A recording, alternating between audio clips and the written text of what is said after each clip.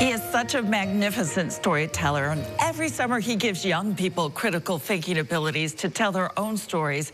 He captures their imaginations to serve them well no matter their path in life. And so the story of SUNY Oswego professor Francisco Suarez is one of my favorite stories of 2023.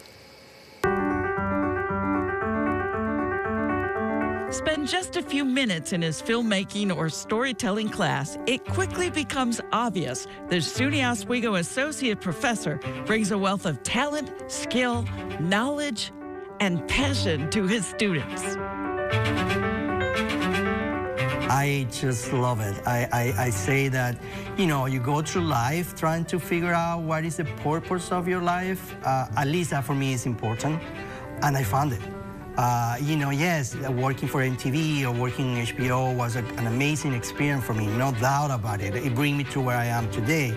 But no job has given me more satisfaction than what I do today at SUNY Oswego. Because I want all of you to experience the process. I think for me, this is not about being a professor just to teach you how to do white balance in a camera or how to light a subject. It's about can you reach the goal that you want to reach. Francisco has fond memories of his childhood in Venezuela and pictured his future at a very young age. I, I just think I was very lucky since I was a kid to know that I want to be involved in visual storytelling. I was fascinated.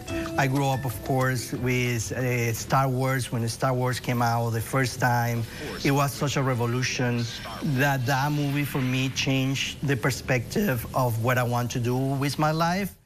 And the force is strong with this one.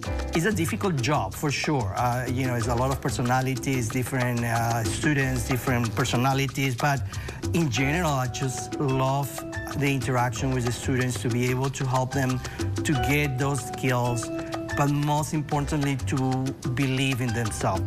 And when he's not teaching, you can catch Professor Suarez hosting his award-winning podcast from Suarez Basement, a project now in its sixth season, which he started during the pandemic.